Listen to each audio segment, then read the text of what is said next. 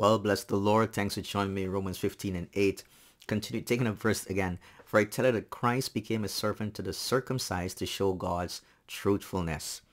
Because the Bible tells us that God is not a man that he should lie. We live in a world with so many lies, fake news, and people making promises and they don't keep them. But when God makes a promise, he keeps his promise. Um, he promised to send a savior into the world, and he did. And he promised that Jesus will return, and he will. He promised to give us the Holy Spirit, and he did. He promised the born-again experience, and he's fulfilling that in the lives of many people who come to him. The Bible says, in order to conform the promises given to the patriarchs, so God is fulfilling all those promises.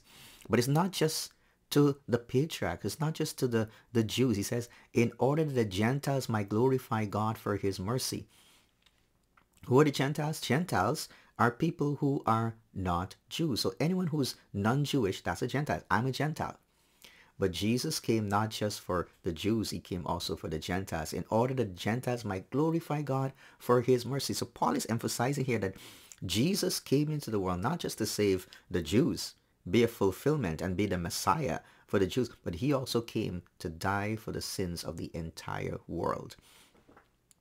And he begins to quote some of the verses in the Old Testament as it is written, Therefore I will praise you among the Gentiles and sing to your name.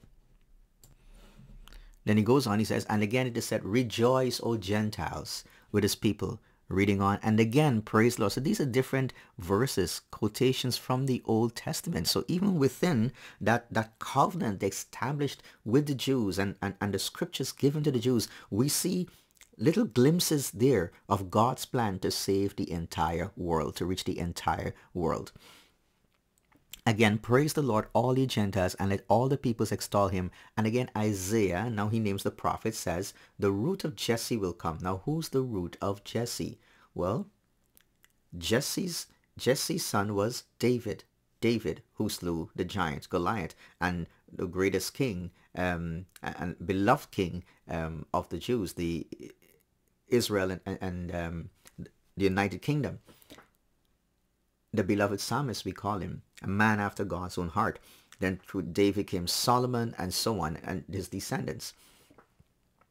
But God promised through the prophet Isaiah, the root of Jesse will come. So it's not about David, it's about someone else. Even he who arises to rule the Gentiles. He's going to come to rule the Gentiles. And the Bible says, in him will the Gentiles hope. So our faith, our trust today, we have taken our faith, our trust, and we have put it upon Jesus. In Jesus. And he is the King of kings, the Lord of lords. He is the ruler of the universe. He is the one who died for our sins. He's the savior of the world and we put our hope and our trust in him. Who are you trusting in today? Are you trusting in someone else? Or are you putting your faith and your confidence in the Lord Jesus Christ? You know, Jesus never fails. Amen.